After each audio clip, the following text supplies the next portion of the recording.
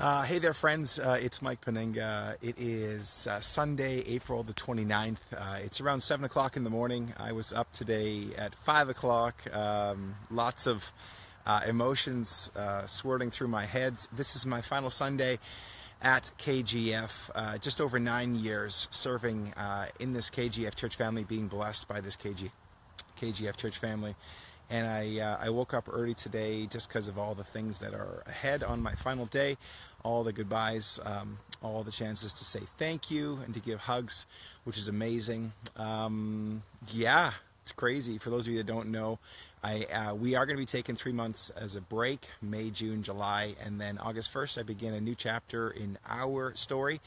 Uh, working at Kelowna Christian School in the area of advancement director, so helping raise the funds and advancing the school and overseeing spiritual life, creating a, a, culture of discipleship among the 700 plus students and the staff and the families and the community. It's going to be amazing.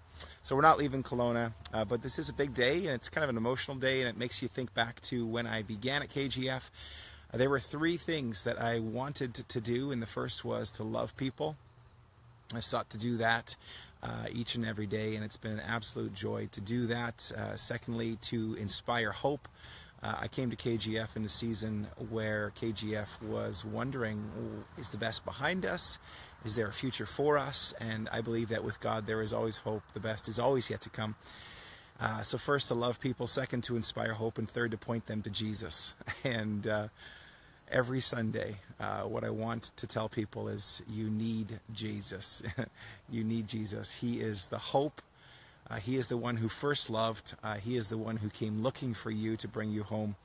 And so uh, that's been my message. Um, I've been accused of being a simple preacher. that's okay. I have a simple message. Uh, the gospel is good news. I was talking to someone uh, just uh, Alpha, and this guy uh, was saying to me, sometimes uh, we can't say simply what Christianity is. Well, I'll tell you what Christianity is. Christianity is one word, Jesus. Um, the second word is grace. Um, but uh, Christianity means that God came near to bring you home. It means that you are not alone. It means that your sins can be forgiven. It means that uh, life eternal is open to you. Grace means all of this is a free gift. All of this is given not because you are somehow worth it, uh, but because God looks at you and sees you as worthy. So that's been my message these nine years. That will be my life moving forward. I'm so excited uh, to see and to show to people that my love for Jesus is not limited to a title or to a position or to a certain community. That I love Jesus whether I'm a pastor with that title or not.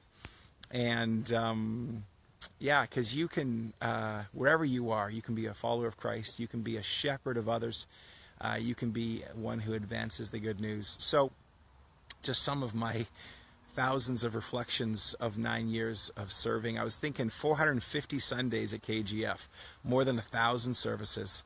And every service we close with uh, a benediction, final word, His word, and those three words, You are loved.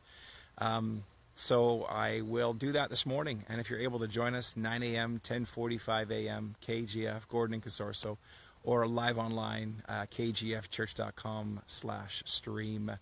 It has been an absolute joy and a privilege uh, to be your pastor, to serve you in this capacity.